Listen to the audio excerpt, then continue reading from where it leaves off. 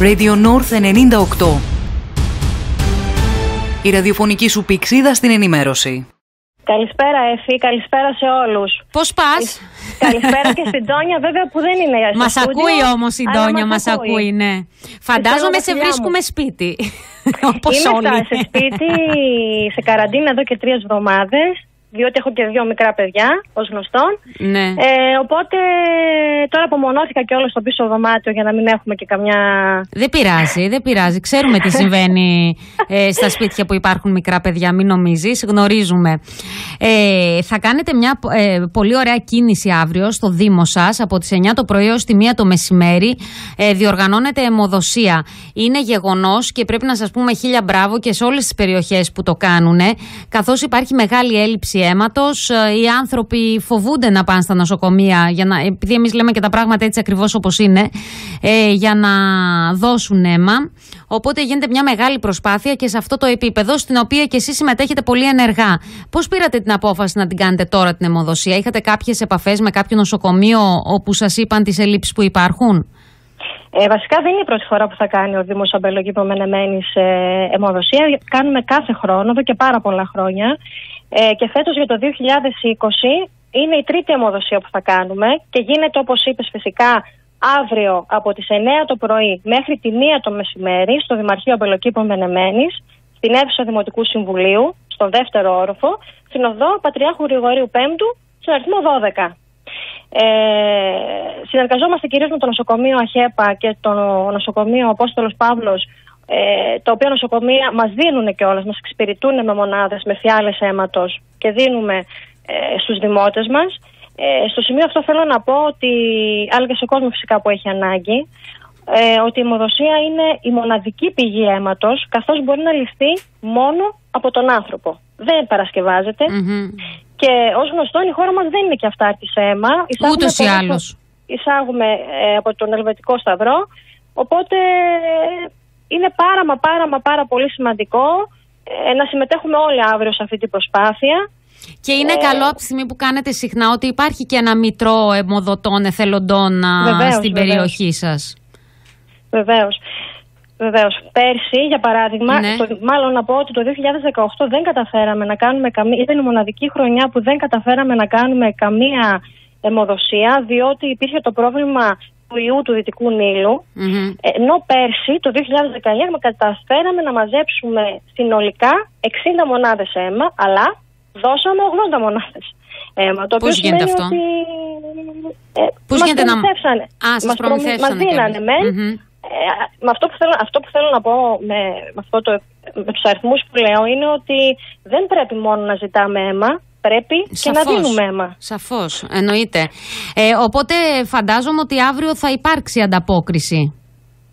Ε, θεωρώ πως ναι, αν και θέλω να πω πως ο κόσμος δεν πληροφορείται σωστά από τα μέσα μαζικής ενημέρωσης για το ωφέλη της ομοδοσίας. Γι' αυτό θέλω να πω ένα τεράστιο ευχαριστώ σε εσάς σημερα που μας δίνετε αυτή την ευκαιρία να μιλήσουμε και να κάνουμε έκκληση προς όλους. Είναι υποχρέωσή μας, Μάρια, των μέσων ενημέρωσης. Είναι υποχρέωση αυτό, γιατί υπάρχει πραγματικά σοβαρό θέμα με την αιμοδοσία. Ναι. Ε, θα είναι με κάποια ραντεβού, πώς θα έρθει ο κόσμος λόγω των συνθήκων. Φαντάζομαι ότι θα τηρηθούν όλα τα, ναι. Τα μέτρα υγιεινής. θα, υπάρχει, θα υπάρχουν εκεί ε, ειδικοί από το νοσοκομείο αλλά και υπάλληλοι του Δήμου όπου θα μπαίνει ένας ένας φαντάζομαι μέσα ή δεν ξέρω mm-hmm. θα το κάνουν. Ε, οπότε δεν, δεν υπάρχει φόβος, ε, θα, θα γίνουν όλα όπως πρέπει. Ε, η ατμόσφαιρα στην περιοχή σας πώς είναι η κατάσταση γενικώ, κυκλοφορεί κόσμος, ε, έχουν συμμορφωθεί με τα μέτρα, τι γίνεται εκεί στους αμπελόκηπους και στη Μενεμένη που πρέπει να πούμε ότι η περιοχή σας ήταν ε, από τις πρώτες που έκλεισαν σχολεία; Ε, το θυμάμαι ειδικά του Δενδροπόταμου τα σχολεία είχαν κλείσει. Ναι, ναι. πριν το γενικό κλείσιμο. Ναι. έχει συμμορφωθεί ο κόσμος με τα μέτρα; Η αλήθεια είναι ότι πριν την απαγόρευση τα πάρκα και οι πλατείες ήταν γεμάτες. Ο Δήμαρχος πήγαινε από. Δεν άφησε πάρκο ο Δήμαρχός μας, ο Δήμαρχος ε, Λάζαρος Κυρίζογλου, δεν άφησε ούτε πάρκο ούτε πλατείο που να μην επισκεφθεί και να μην παροτρύνει τον κόσμο, έναν ένα τους μιλούσε, πως πρέπει να γυρίσουν στα σπίτια τους, ότι η κατάσταση είναι πάρα πολύ σοβαρή.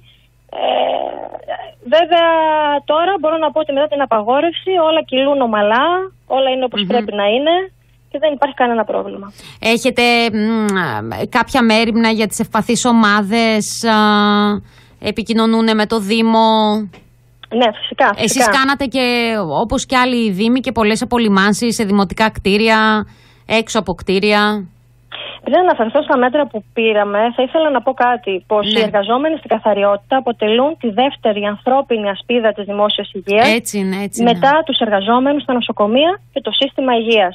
Οπότε πρέπει να πω ένα ευχα- τεράστιο ευχαριστώ στους δικούς, μου, στους δικούς μας εργαζόμενους στο Δήμο Αμπελοκήπων ε, Μενεμένης αλλά και στον αντιδήμαρχο, στον αρμόδιο αντιδήμαρχο καθαριότητας τον κύριο Κουσίδη Γιώργο για την τεράστια προσπάθεια που καταβάλουν όλο αυτό το διάστημα καθώς έγιναν απολυμάνσεις σε όλα τα σχολεία, σε ναούς, κλείναμε τους δρόμους, τα πάρκα, τις πλατείες, σαπουνίσαμε με νέο όχημα και όλους τους κάδους.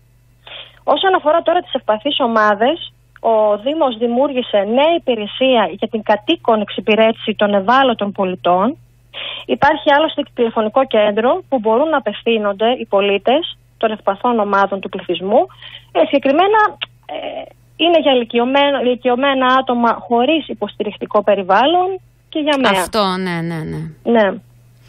Ωραία, ε, σε ποιο τηλέφωνο παίρνουνε; Τα τηλέφωνα είναι 2313 Μμμ. 313-673 και 2313-313-675. Μάλιστα. Ωραία. Οπότε μπορούν να απευθύνονται σε αυτά τα τηλέφωνα αν κάποιος θέλει μια βοήθεια, μια υποστήριξη. Επίσης, ε, δεν ξέρω αν έχω χρόνο να πω και κάτι Ναι. άλλο, ότι σήμερα ξεκινήσαν και διανομές ε, τροφίμων του προγράμματος ΤΕΒΑ. Συνεργεία του Δήμου κάνει, ε, ξεκίνησε από σήμερα τη διανομή των τροφίμων στους δικαιούχους, πάει από σπίτι σε σπιτι Μμμ. και συνεχίζονται κανονικά και οι διανομές τροφίμων του κοινωνικού παντοπολίου ε, και, πι- και επιπλέον ο Δήμος προχωρά σε επιπλέον προμήθεια τροφίμων ώστε να εξασφαλίσει βοήθεια και σε ανθρώπους εκτός προγράμματος ΤΕΒΑ. Μάλιστα.